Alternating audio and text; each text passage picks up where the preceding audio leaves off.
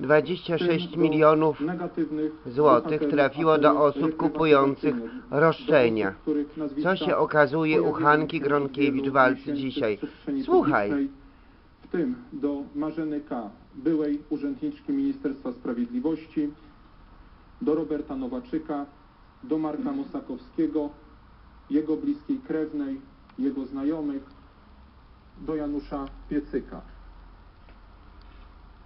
Kolejne pieniądze, czy no, również, bo to część tych pieniędzy była, y, przecinała się, ponad 42 milionów, 2 miliony złotych uzyskały dla swoich klientów trzy kancelarie prawne, w tym kancelaria pana Roberta Nowaczyka, brata Marzeny.